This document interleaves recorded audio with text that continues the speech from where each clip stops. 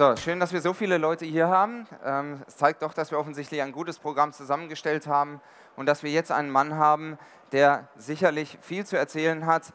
Er war 20 Jahre beim Spiegel, wie er mir gerade berichtet hat, und er war zuletzt ein White House-Korrespondent in Washington und war dort in den USA unterwegs und er kennt sich natürlich bestens aus. Er ist der Chairman des Handelsblatt Verlags, der Handelsblatt Verlagsgruppe und Herausgeber des Handelsblattes und wird uns jetzt erzählen über Quality Journalism in the High-Speed Era of the Internet. Ob das in Deutsch oder Englisch ist, bin ich mir jetzt gar nicht so sicher. Ist es Deutsch oder Englisch? Ich gucke mal nach hinten.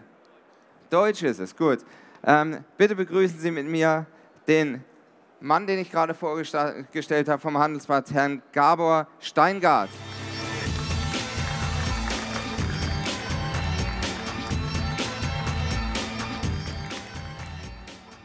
Schönen guten Nachmittag allerseits. Unsere Wirklichkeit als Medienmenschen ist geprägt von drei Welten. Wir leben in drei Welten gleichzeitig, in der Welt der Großartigkeit, in der Welt der Verwirrung und in der Welt der Wehleidigkeit. Über diese drei Welten würde ich gerne sprechen. Bedanke mich, dass Sie alle da sind. Freue mich vielleicht anschließend auf eine muntere Debatte. Die Welt der Großartigkeit haben wir vor über einem Jahrzehnt betreten, der medialen Großartigkeit, weil wir viel mehr Menschen erreichen, als wir uns das je haben träumen lassen. Als ich mit 28 Jahren beim Spiegel anfing, gab es kaum einen Abonnent, der überhaupt mein Alter hatte. Heute lesen Millionen junge Leute Spiegel Online, informieren sich im digitalen. Das Handelsblatt war zu meiner Zeit als Student und dann auf der Journalistenschule eine Zeitung für Leute mit Hut und Opel Senator. Bestenfalls, würde ich sagen. Darunter ging nicht viel. Frauenfehlanzeige, junge Leute Fehlanzeige. Heute Millionen junger Leute auf der Seite, auf unseren Seiten, aber auch auf anderen Wirtschaftsseiten. Wir erleben eine Explosion von Informationen, von Wissen, aber auch von Austausch, von Polemik und Gegenpolemik, von Rede und Gegenrede, von großer Transparenz. Wir haben alle Gründe, diese neue Zeit als großartige Zeit für Qualitätsjournalismus zu empfinden, weil es das vorher so noch nicht gegeben hat. Und wahrscheinlich wird man das erst im Rückblick, diese enorme Verbreitung von Meinung und diesen enormen Austausch von Wissen richtig zu schätzen wissen. Trotzdem sind wir verwirrt, denn auf dem Weg zur Großartigkeit ist uns in Teilen das Geschäftsmodell abhandengekommen. Wir leben in einer wilden Beziehung mit unseren neuen Lesern und Leserinnen, die jetzt User heißen, und gleichzeitig ist die Kasse leer. Wer führt hier eigentlich das Haushaltsbuch, fragt man sich. Wovon leben wir eigentlich? Die Verwirrung ist allgegenwärtig und äh, ich halte es für einen Jahrhundertfehler, dass unsere Verleger, die sind für mich Ausgangspunkt der Verwirrung und nicht etwa Google, obwohl große deutsche Konzerne ja eine Forschungsstation im Silicon Valley äh, errichtet haben, wo sie den Gegner Google aus der Nähe inspizieren ähm, und jede neue Depesche ähm, aus dem Silicon Valley, aus dem Springerhaus, wird hier zu Hause als Persilschein gelesen. Guckt mal unser Geschäftsmodell, die klauen uns das weg, Google war's. Nein, ich glaube, die Verwirrung begann in den Köpfen unserer Verleger, die ein Jahrhundertirrtum äh, begangen haben, als sie glaubten, die neue Zeit sei eine Zeit, wo sie Essays, Kommentare, Reportagen, Bilder einfach so hinausgeben. Und sie dachten, das würde das Neue sein dieser neuen Zeit, dass wir alles teilen, ja, und dass wir alles für umsonst teilen und dass guter Journalismus für gutes Geld nicht mehr gelten würde.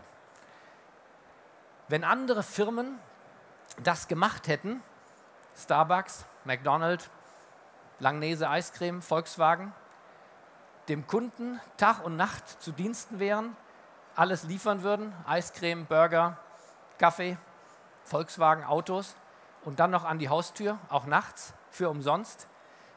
Alle diese Firmen wären längst auf dem Friedhof äh, der untergegangenen Geschäftsmodelle. Es würde Volkswagen, Langnese, Starbucks niemand davon mehr geben. Und insofern ist es fast ein Wunder, dass wir noch leben und zeigt wiederum auch die Vitalität von Journalismus und von Medien, dass wir diese Idiotie überlebt haben. Das Zeitalter der Verwirrung hält bei vielen noch an Und da betreten wir schon die Welt der Wehleidigkeit. Ähm, die schließt sich nahtlos an die Welt der Verwirrten an. Die Wehleidigen, die sich die alte Zeit zurückwünschen, ja, da hatten wir den Leser mit Hut und dem Opel Senator. Der Hut ist so untergegangen wie der Opel Senator. Und sie wünschen sich diese Zeit zurück. Als wir treue Abonnenten hatten, viel weniger Leser als heute, keine Jungen, keine Frauen. Spiegel war zu meinem Eintritt, habe ich mir gemerkt, damals 45 Jahre war das Durchschnittsalter und von dort ging es nach oben zügig weiter.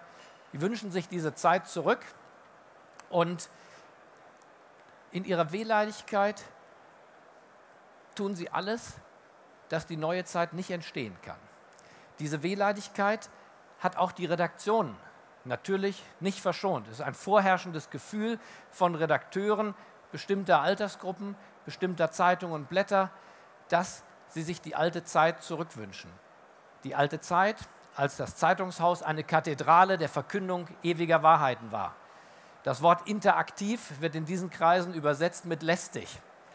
Was war das eine schöne Zeit, als wir die Leserbriefe dankbar entgegengenommen haben, gedruckt, nicht gedruckt oder aufs Unwesentliche verkürzt haben. Der Journalist als oberster Zensor, das war die große Zeit des Qualitätsjournalismus, glauben einige. In ihrer Wehleidigkeit gehen sie sogar so weit, dass sie äh, die Kommentare und all dieses abschalten wollen, nicht lesen wollen, nicht drucken wollen und den Rückfluss von Kommunikation nicht akzeptieren. Sie nennen sich zwar 68er Anti-Autoritäre, aber in unserem eigenen Gewerbe, Sie sehen, ich gehe kritisch mit meiner eigenen Zunft um, möchte man eigentlich das Modell des Lehrers, wie wir es so in den 50er, 60er, 70er Jahren erlebt haben. Einer steht vorne, verkündet ewige Wahrheiten, 30 bis 50 schreiben fleißig mit und nicken gefällig, verlängern, medial verlängern und diese Zeit für uns äh, retten. Diese Grundstimmung der Wehleidigkeit mit der gleichzeitigen Verwirrung und den gleichzeitig großartigen Möglichkeiten ist Ausdruck einer historischen Epoche, in der wir leben. Diese drei Wirklichkeiten sind nicht, dass die einen dumm und die anderen klüger und die anderen vorwärts sind, sie sind der typische Ausdruck, dass sich Geschichte vor unseren Augen abspielt. Dass wir Teil eines sehr geschichtsmächtigen Prozesses sind, der weit über Internet und App und Bezahlbarriere und all diese ähm, Worte, die natürlich auf so einer Messe eine Rolle spielen, hinausgeht. Ich habe die Jetztzeit, die drei Wirklichkeiten beschrieben. Ich will zurückgehen zu den Wurzeln, äh, warum wir da sind, wo wir heute sind. Und ich beginne, ich mache es in aller Kürze, am Ende des 18. Jahrhunderts mit der Aufklärung. Wir erlebten mit der Aufklärung, dass erstmals Menschen wie Kant und Voltaire gesagt haben, die Weisheit liegt nicht da oben im Himmel, sondern hier. Befreit dich, hat Kant gesagt, von der Unmündigkeit, von der selbstverordneten Unmündigkeit, dass du an höhere Gewalten glaubst. Diese Selbstbefreiung, später sprach Horkheimer von der Entzauberung der Welt, war der Ausgangspunkt dessen, was wir heute sehen. Die Aufklärung, dass man eben nicht nach oben guckte und oben einen Gott sah, sondern dass man nach oben guckte und dort Naturgesetze am Wirken sah, bei Donner und Blitz. Dass man nach unten sah und nicht einen Teufel da unten vermutete, sondern Rohstoffe. Aus dieser Aufklärung, dass der Mensch die Ferngesteuertheit seiner Existenz, die bis dahin seine feste Grundüberzeugung war, dass wir in Gottes Hand waren, er nahm sein Leben in die Hand und wurde zum Erfinder. Die Glühbirne, die Dampfmaschine, das Auto, Dynamit, alles entstand. Die industrielle Revolution eroberte die Welt. Das war die zweite Welle der Aufklärung. Die dritte Welle der Aufklärung war, dass diese aufgeklärten Menschen alles akzeptieren konnten, aber eigentlich nicht mehr, dass da Königshäuser und Feudalisten rund um sie waren und sie fremdbestimmten. Das, was früher Gott war, wollten die Könige sein und die wurden jetzt hinweggefegt. Die dritte Welle der Aufklärung war die Demokratie. Die hat die Medien zu diesem frühen Zeitpunkt nicht erreicht und große Teile unserer Wirtschaft nicht erreicht. Was wir erleben, ist die vierte Welle der Aufklärung. Wir erleben, dass die Prinzipien von Demokratie, von sich rein verlagern, ich bin ermächtigt, meine Welt zu bauen, meine Gedanken zu haben, meine Entscheidung zu treffen. Wir erleben diese vierte Welle der Aufklärung sehr schmerzhaft. Viele Unternehmen. Viele Unternehmen dachten, nehmen wir ein Energieunternehmen, dass sie einen Aufsichtsrat haben, eine Belegschaft und einen Vorstand und man macht unter sich aus, wie man die Energieversorgung gestaltet, zum Beispiel mit Kernenergie. Und jetzt, die vierte Welle der Aufklärung, bringt die Gesellschaft mit an den Tisch und bringt rundherum das Umfeld um diesen Konzern. Auf einmal wird deutlich, wie klein das Unternehmen und wie viele Menschen von der Energieversorgung betroffen sind. Und diese Menschen sagen Kernenergie nein. Und es kommt, und Frau Merkel war nur der Notar dieser Volkesstimmung, dass das Volk mit am Tisch saß und ein Geschäftsmodell, nämlich das von Kernenergie in Deutschland, für erledigt erklärt hat. Es kam und kommt in diesen Tagen, auch hier im Rheinland, zum ersten Mal seit dem Zweiten Weltkrieg zur Demontage von Industrieanlagen. Ein Geschäftsmodell wurde durch eine aufgeklärte Gesellschaft obsolet gemacht. Dasselbe erleben wir im Bereich der Banken und auch im Bereich der Medien im Bereich der Medien fegt diese Welle der Aufklärung eben das alte Berufsbild hinweg. Insofern geht es um viel mehr als um Highspeed-Internet. Es geht um einen Qualitätsjournalismus, der sich verändern muss und gerade dabei ist, mitten in der Transformation. Qualitätsjournalismus ist eben nicht mehr ein Produkt, äh, wie es unsere Vermarkter auch zum Teil noch anbieten. Hier ist das mediale Produkt, hier ist der Stern, der Spiegel, hier ist unsere Website, sondern es ist ein Prozess. Wir gehen vom Ich zum Wir über. Wir müssen zumindest als Gedankenexperiment, das sage ich auch unseren Redaktionen, davon ausgehen, dass unser Leser nicht dümmer ist als wir selbst. Das ist ein revolutionärer Gedanke in den meisten Redaktionen, wie Sie sich vorstellen können. Und der gilt umso mehr für eine Wirtschaftsredaktion. Der gilt aber auch in politischen Redaktionen. Mit einer mündigen Gesellschaft können Sie so nicht umgehen, wie wir das Jahrzehnte getan haben. Und diese vierte Welle der Aufklärung hat mit voller Wucht die Medien erreicht. Sie verändert das, das Internet und das Handy und die Laptops und die Apps. Das sind die Instrumente, das sind die Werkzeuge, das sind die Ermöglicher dieses äh, Prozesses. Der eigentliche Ursprungsprozess begann im Kopf. Jetzt haben wir die Instrumente und insofern kam eins zum anderen. Ohne das Internet wäre dieser Rückkanal zum Leser nicht möglich. Polemik und Gegenpolemik, Rede und Gegenrede, Öffentlichkeit und Gegenöffentlichkeit. Wobei die Gegenöffentlichkeit eben nicht mehr draußen stattfindet, sondern in den eigenen Blättern, auf den eigenen Plattformen, unter dem eigenen Markennamen. Welche Unerhörtheit. Diese neue Welt des Verwirrten, des Wehleidigen und des Großartigen ist das, was wir mediale Transformation nennen. In der sind wir mittendrin und haben unsere Rolle zu spielen. Ich glaube, dass wir gut beraten wären, äh, diesen Prozess als gegeben hinzunehmen und die Transformation voranzutreiben. Darum bemühe ich mich. Wir haben unsere, unser Medienhaus neu definiert. Wir sagen in zwei Sätzen, das ist das Mission Statement, wenn Sie so wollen, der Verlagsgruppe Handelsblatt und die Erkenntnis aus diesem, aus diesem geschichtsmächtigen Prozess. Wir sind nicht mehr eine Unterabteilung der deutschen Holzindustrie. Wir sind eine Gemeinschaft zur Verbreitung des wirtschaftlichen Sachverstandes. Und unter dieser Klammer, wir sind eine Gemeinschaft zur Verbreitung des wirtschaftlichen Sachverstandes, da ist jedes Wort wichtig. Das beginnt mit dem Wir. Wir meint nicht die Redaktion, sondern meint Redaktion und Leser und Leserinnen. Die Gemeinschaft ist eben der Austausch von Ideen. Wie kann man eine bessere Energieversorgung hinbekommen? Wie sieht ein gerechtes ähm, Steuermodell aus? Wie kann man Frauenarbeit und Kindererziehung und Familie und eine Work-Life-Balance, in der sich leben mag, unter einen Hut bekommen? Gemeinschaft, diese Dinge gemeinschaftlich diskutieren, plakatieren, hinausposaunen, zurücknehmen. Und wirtschaftlicher Sachverstand eine Grundierung, eine Grundlage legen für die ökonomischen Debatten, die sozialen, die Gerechtigkeitsdebatten in Deutschland. Unter dieser Klammer ist eben eine Zeitung nur noch eine Zeitung und eine von vielen Aktivitäten. Im letzten Jahr haben sich auf unseren Veranstaltungen 15.000 Menschen begegnet. Das ist Teil einer Gemeinschaft zur Verbreitung des wirtschaftlichen Sachverstands. Journalismus eben auf der Bühne. Tina Brown habe ich gerade gelesen, geht aus dem Journalismus, dem gedruckten raus in Amerika, die Gründerin von Daily Beast und Ex-Chefredakteurin von Newsweek und hat Tina Brown Media Live gegründet und macht nur noch live Debates, Saloons und Flash Discussions, ähm, wo sie Journalismus auf der Bühne macht. Wir machen sowas ähnliches im kleineren, 15.000 Leute. Wir haben ein Research-Institut gegründet, wo wir forschen. Das ist wie Journalismus, nur für den Einzelnen. Politiker lassen sich vorbereiten für Talkshows mit harten Fakten. Firmen geben aufwendige Studien in Auftrag, um herauszufinden, wie dieses und jenes äh, gelagert ist. Diese neue Klammer ist ein neuer und erweiterter Medienbegriff, von dem ich glaube, dass er dem Qualitätsjournalismus in einer veränderten Umgebung Rechnung trägt. Und dieses neue Geschäftsmodell würde ich allen empfehlen. Dann gibt es keine Wehleidigkeit. Es gibt auch keinen Grund für Verwirrung. Wir müssen auf die neue Zeit zugehen, ihr die Hand reichen. Wenn die Zukunft, wie Henry Kissinger das neulich formuliert hat, ein unbekanntes Land ist, dann sind wir unterwegs zu diesem Land.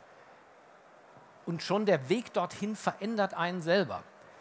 Die Deutschen, die Iren, die Franzosen und die Engländer, als sie die Mayflower bestiegen haben, um Amerika zu entdecken und auszuwandern, sind nicht als Deutsche, Iren, Franzosen und Engländer dort angekommen. Sie sind in einem sehr geschichtsmächtigen Prozess als Amerikaner angekommen. Und diesen Prozess der Transformation, dieses sich auf die Reise begeben, das ist der Prozess unserer Generation. Die Selbstneuerfindung. Wir sind Teil eines großen Transition Teams, das sich in der Übergang von der alten Welt in die neue Welt befindet. Und uns muss, glaube ich, nicht bange sein. Und insofern wäre meine Botschaft, dass wir zügig vorangehen, die Verwirrten und die Wehleidigen mitnehmen, in den Arm nehmen, Dinge erklären, ihnen Mut machen und nach vorne gehen äh, und alle gemeinsam die Welt des Großartigen für uns entdecken. Vielen Dank.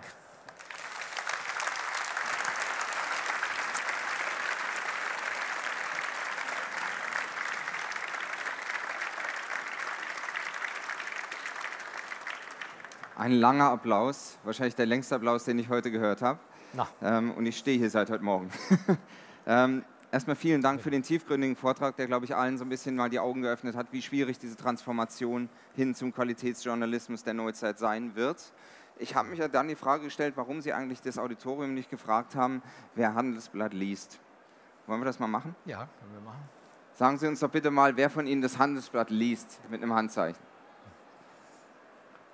Ja. Ist das zufriedenstellend für Sie? Finde ich schon, oder?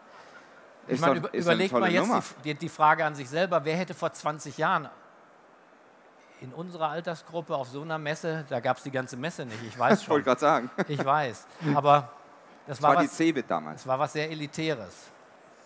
Ne? Ähm, dennoch habe ich mich gefragt, ich habe vor kurzem mal so ketzerisch in einem anderen Panel gesagt, mhm. Qualitätsjournalismus ist die Aggregation von User-Generated Content auf eine clevere Art und Weise. Können Sie das entkräften? Ja, das wäre mir zu wenig. Das gehört für mich dazu. Äh, also das, ich mag nicht diese Worte User-Generated, weil ich glaube, sozusagen, wenn man von einer Gemeinschaft spricht, ist, das, ist der User, das ist immer noch einer, der irgendwas ge benutzt, gebraucht, was ich ihm gebaut habe. Aber so ist das nicht.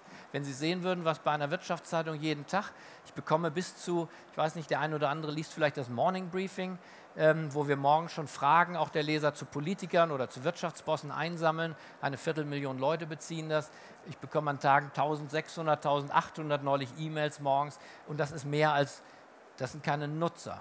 Das sind Leute, die sich sehr artikulieren, Ideen haben für Fragen, und zum Teil, ich habe schon Interviews bestritten, mit ausschließlich äh, User-Generated äh, Questions, wenn Sie so wollen, äh, weil die Fragen äh, smarter waren als die, die wir vorbereitet hatten. Mache ich übrigens auch, ist ein wunderbares probates ja. Mittel. Ähm, nun würde es mich interessieren, wer zahlt für Qualitätsjournalismus hier drin? Können Sie mal die Hand heben? Sie haben ja gehört, wie man das ungefähr definiert. Also da ist definitiv Potenzial nach oben, würde ich mal sagen, oder? Ja, ich rate uns ab, uns mit dieser Frage, also erstens mich fragt den ganzen Tag überhaupt keiner, ob ich bezahlen möchte. Ähm, das fängt an bei der Bahnhofstoilette. Da kostet jetzt, glaube ich, obwohl man ja alles selber macht, 80 äh, Cent. Ähm, im, im, Taxi, ja, ich weiß gar nicht, wo die Dienstleistung drin besteht. Ähm, Im Taxi fragt mich kein Mensch äh, auf keiner Sprache dieser Welt, und da werden viele gesprochen, ob ich bezahlen möchte. Ähm, und wenn also, ja, wie viel? Äh, Eiscreme, ich habe überhaupt kein Produkt gesehen, äh, das äh, auch am Flughafen gibt es nur ein Produkt, das kostenlos verteilt wird. Der Kaffee ist nicht umsonst, die Kekse sind nicht umsonst, nichts ist umsonst, außer die Zeitung. Also insofern, mh, hm, wir haben uns in eine komische Situation gebracht, dadurch, dass wir auf einmal fragen. Ja. Herr Winterkorn fragt auch nicht, wollen Sie einen Volkswagen für Geld oder nicht? Soll ich Sie fragen, wollen Sie einen Volkswagen für Geld oder ohne Geld? Also, insofern, so kommen wir dem, dem Thema nicht näher. Das sind zwei Markenfragen da, die könnte ich jetzt auseinandernehmen, noch die Frage, Sie wahrscheinlich auch. Aber das wollen wir nicht machen. Ich glaube, Herr Steingart, Sie haben sehr dolle klar gemacht, worum es geht. Ich würde gerne dem Auditorium die Option geben, eine Frage an Herrn Steingart zu stellen. Wenn Ihnen eine Frage auf der Zunge brennt, wenn Sie sagen, das wüsste ich jetzt einfach noch gern, das wird das Ganze noch ergänzen, trauen Sie sich. Wir haben hier eine wunderhübsche Dame, die kommt zu Ihnen mit einem Mikro und dann können Sie das da reinsprechen. Trauen Sie sich, Sie müssen auf keinen heißen Danke. Stuhl.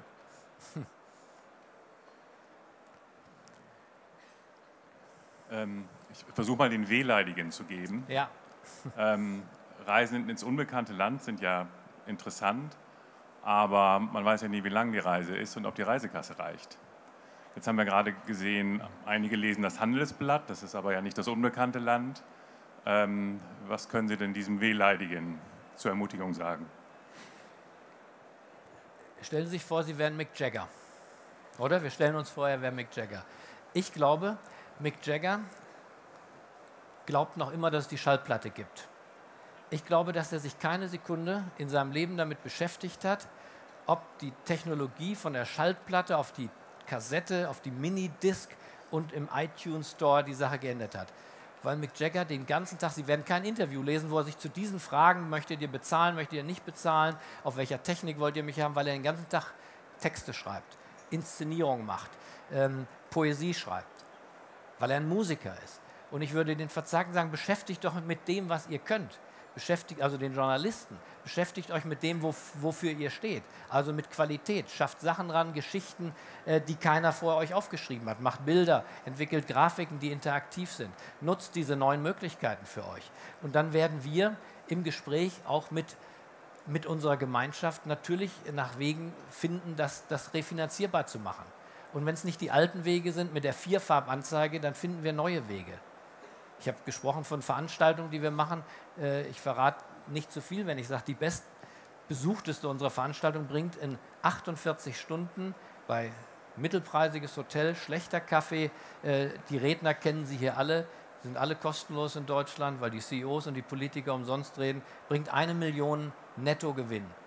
Ja, wenn das eine neue Form ist, Qualitätsjournalismus erlebbar und bezahlbar zu machen, weil Firmen zahlen dafür, dass sie auftreten und mit der Gesellschaft in Diskussion treten. Ja, die Geschäftsmodelle werden sich ändern. Also lasst uns wie Mick Jagger machen und wir konzentrieren uns auf das, was wir können. Glaube ich, ein sehr schönes Schlusswort. Ich muss auch das als Schlusswort nehmen, aufgrund der Zeit, die dann doch etwas drängt und wir das nächste Panel schon vor uns haben. Ich meine, er hat einen Wahnsinnsapplaus verdient. Ich könnte diesem Mann permanent zuhören. Vielen Dank. Vielen Dank. Danke.